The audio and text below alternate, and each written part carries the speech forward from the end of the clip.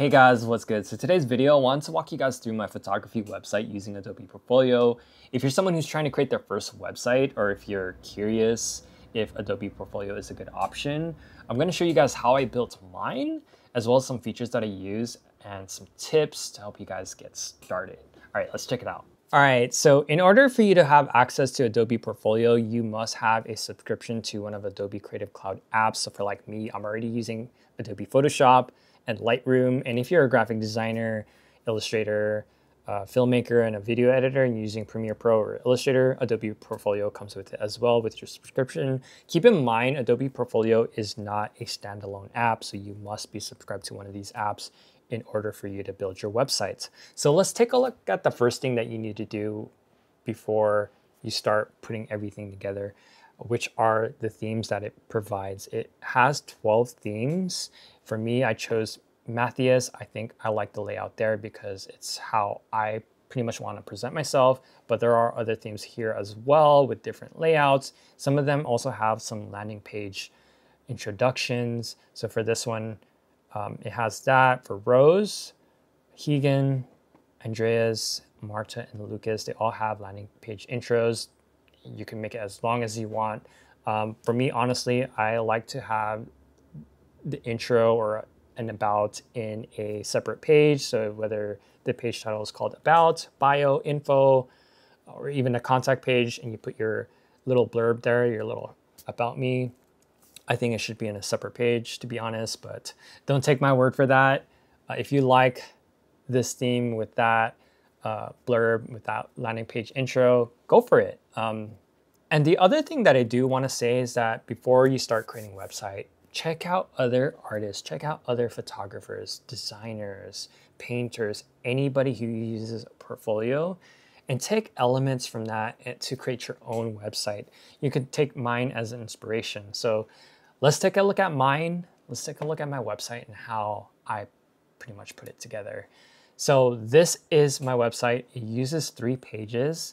It has an overview page, motion, and info, and it has a fourth link to my Instagram. So that's not like a, a page built within my website. It's just a separate link that opens a different window. So I mainly have three uh, pages on my website. So for the overview, it could be it could be named different as well. It could be collection or pretty much showcases all your work or you can have different projects.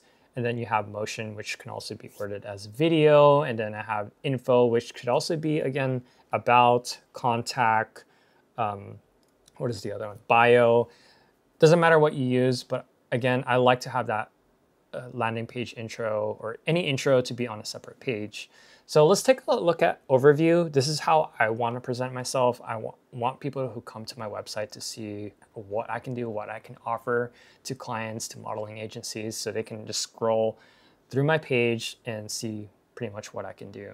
As long as you can show some, you know, good presentation, um, you know, you could probably get hired or be able to find people to collaborate with and, and whatnot. And then I have a motion page, which showcases my videos.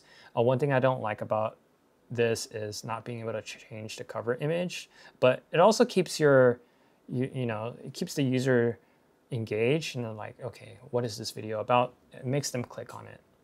And then I have the info, uh, which is uh, information about me in third person. So that's something might, that might take a little time for you to put together, but you don't have to do what I do. You can keep it short and simple.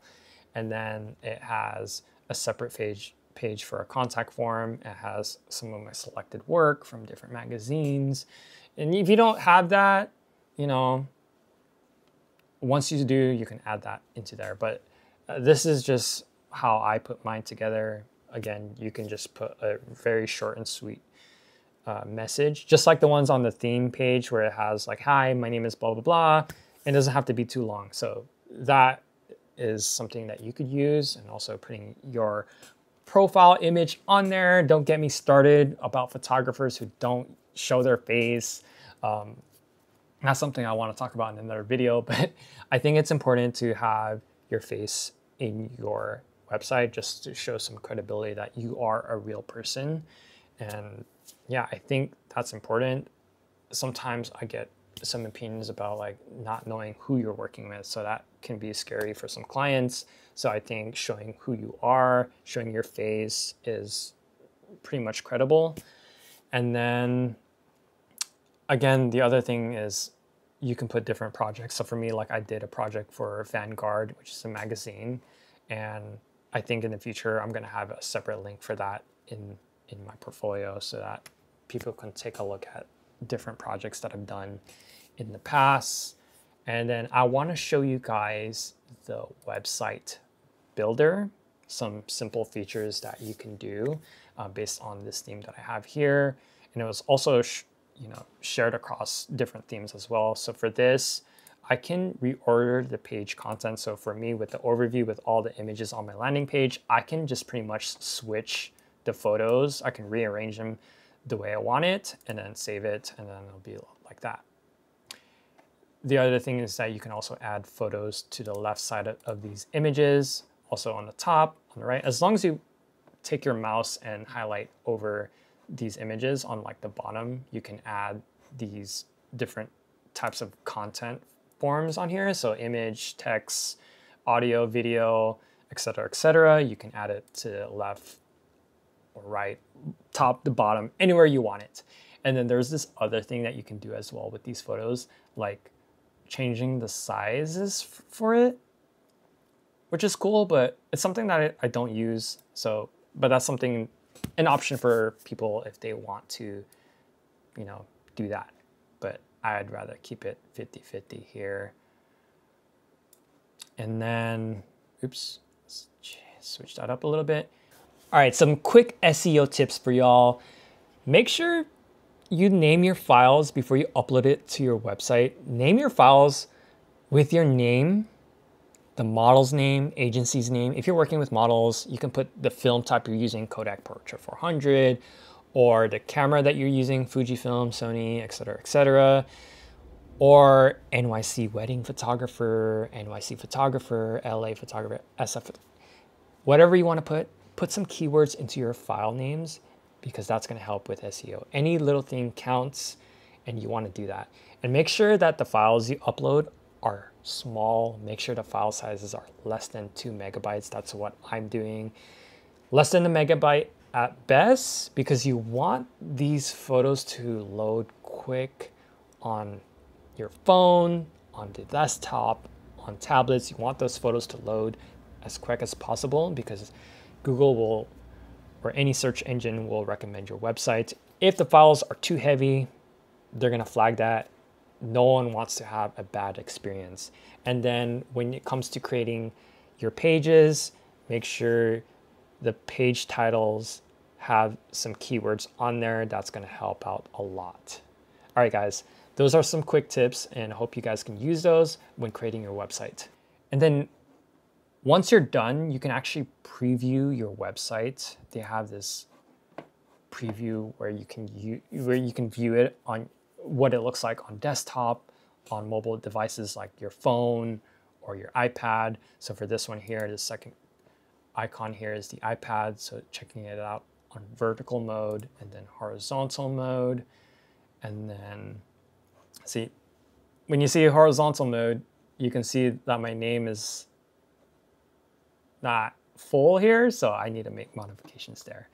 And then for mobile, uh, vertical, again, how I want my clients to go onto my website and how I want to present myself is have them engage pretty much like endless scrolling. And then you have horizontal mode on the phone. And that way you can make sure that your website is presentable on all, uh, on all formats. So let's go back to edit and then check out these other features here. So you can make modifications site-wide, meaning across the board, all your pages, or this page specifically. So you can change the background, the text, um, anything you want. And how I would like to keep this easy for people who are just starting out is to just use the theme that is offered to you before diving into all these other features. Just use the theme and again, like you, you'll finish your website within 30 minutes to an hour. As long as you have your files ready, you can be finished. Just as long as you pick a theme and replace the text titles and then replace the photos and rearrange them the way you want, you're pretty much done. And then, um, so the other things that you have access to is like search engine optimization, analytics, meta tags, favicon, all these other small features that, you know, that build a website is here for you to fill out. So it's important to do these things because of SEO. All right, so domain name. Adobe Portfolio provides a subdomain for you to get started. So you can use your name and it'll give a subdomain with .myportfolio.com. I think you've guys seen that on some people's Instagram bios where they have like dot something something something.com. Um, but I think professionally it should just be dot .com instead of having a subdomain on there. For me, I'm using Namecheap um, for less than 10 bucks for my first year. You can do that as well. I have a link below. You can spend only 650 for your first year. Check them out. They're easy to use. I pretty much transferred from a different provider to them and they have good customer service and they got me going in no time. So check out Namecheap if you want to, especially if you're starting out and you want to pay less than 10 bucks for your domain, check out Namecheap. All right. All right, so before I go, I do want to talk about pricing. If you're using Photoshop and Lightroom already, you're doing the 1999 combo, Adobe Portfolio already comes with it. That cost is 19.99 times 12. That comes out to be 239 and 88 cents per year. And if you want to use Namecheap for your first year plus 650 using the link that I have in this video, it will come out to be 246 and 38 cents for your first year. That's pretty much less than $300 per year. And if you want to go a little bit cheaper and you just want to use Lightroom, it's $11.99 per month. So let's do the calculation for that times 12. That comes out to be 143 and 88 cents per year. And if you're using Namecheap as your domain for your first year, that comes out to be 150 and 38 cents, and then pretty much less than $200 per year. I would recommend that compared to other providers. I think Adobe Portfolio is the cheapest option out there. And plus, you have a great tool like Lightroom to edit your photos with, to organize your photos with, and uh, all the features that it provides. I think this is a good price point. Less than 200 bucks. I think that's worth it compared to the other providers out there. So yeah, check it out, compare it, do some research. I hope what I showcase here helps you guys build your website. And if you're someone who's using another service, and if you want to transfer over and you're already using these apps, it, I think it would make sense to use Adobe Portfolio. Everything here is an option. This is to give you guys um, you know, some ideas and for, for those who are starting out in photography or any creative field, uh, whatever, whatever you're into and you need a website, Adobe Portfolio is one of those websites that you can use to present your work. All right, guys.